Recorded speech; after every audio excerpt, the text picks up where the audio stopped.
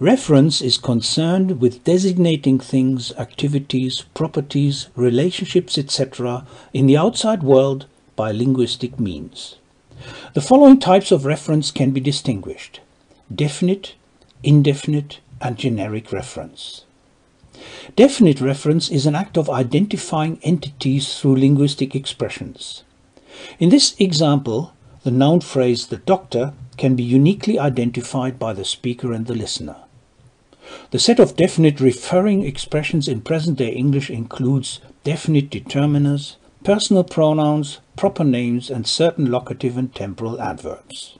In instances of indefinite reference, only the features of the class to which the referent belongs are relevant. Here is our example again, with a tiny but important difference.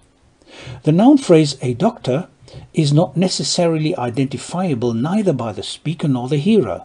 In fact, to understand the speaker, the hearer does not have to know which doctor is involved.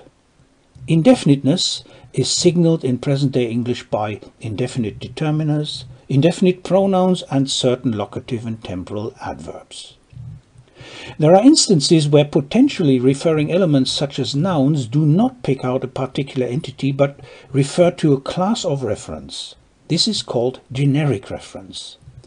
These three sentences have readings which involve generic reference. Each of them states that being of great use is a general characteristic of the members of the class of computers.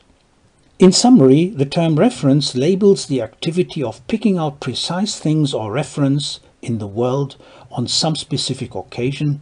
It establishes a relationship between words, or more precisely lexemes, and real-world entities.